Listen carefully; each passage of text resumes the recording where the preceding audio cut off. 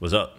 I'm William, developer advocate at OneSignal, and in this video, I'm going to walk you through setting up email using our new OneSignal pass-through. All right, now you may be wondering, when should I use the OneSignal mail pass-through?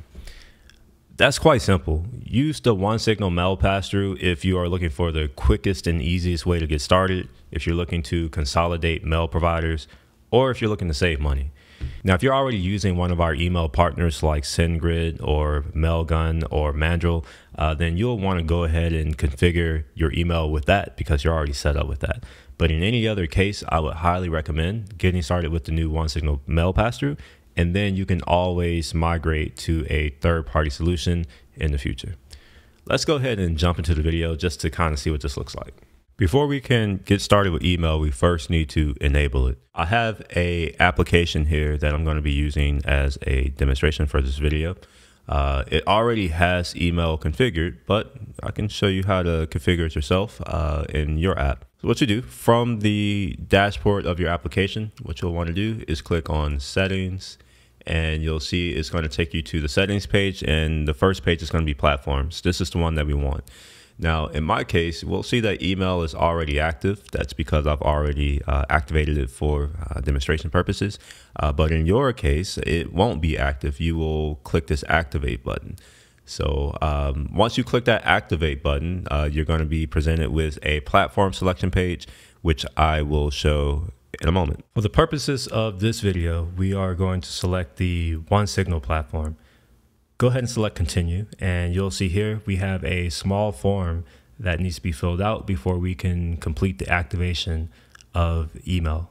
The first question is simply asking, do I already have my own domain name uh, that I would like to associate my emails to? Uh, in this case, uh, I don't have my own domain, so I'm going to select no. However, if you do have your own domain name that you want to use, we suggest you select yes and configure your own domain. Next, we need to know how we can reach you, so just put in your email. Now, the next question is simply asking Have the people who are on that email list given permission to be contacted by you? And again, this goes to ensure higher deliverability. Uh, it's very important that we are uh, only sending emails to people who have consented to it, uh, especially if they are marketing emails. Uh, typically, transactional emails don't um, have this same constraint. Next, we do want to know how many contacts you have. This is mainly for us so that we can kind of get a feel for how much load we can expect uh, from your account or from your app. And then the next question is uh, just getting around how many emails you think that you'll send in a month. So as you can see, I've just randomly picked a few values and I'm going to go ahead and click continue. I want to take a second to talk a little bit about delivery defaults. On this page, you see we have uh, two key pieces of information that we need to provide, the default from name and the default from email. The from name is simply the name that's going to show up uh, in the from header uh, in that email, and the default from email is the associated email to that name. So uh, we do use this information in order to uh, make sure we can send an email in the event that you don't provide a uh, from name or from email uh, in our SDK or API. Now that we've activated our email platform, we need to add our subscribers. This is required because we can only send email to those who have subscribed. You can uh, import your subscribers via a few ways. Number one, you can use uh, the CSV upload method. You can also use our API. We provide a web prompt as well as one of our SDKs. Now, we're going to upload some emails using the dashboard. And here we're showing what the CSV format must follow. Uploading is quite simple. We just upload a file. Uh, once it's complete, I am going to go and review my audience to make sure that my user was added and we see it is. As you can see here, we do provide a way for you to create your own email templates and I have a custom template that I built here.